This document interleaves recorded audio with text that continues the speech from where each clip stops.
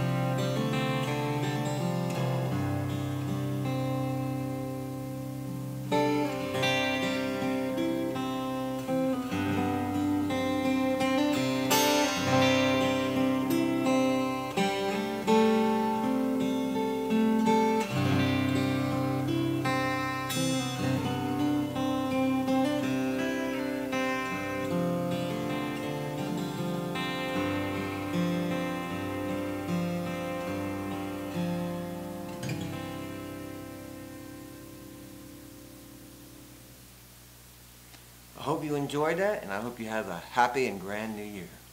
Thank you for listening.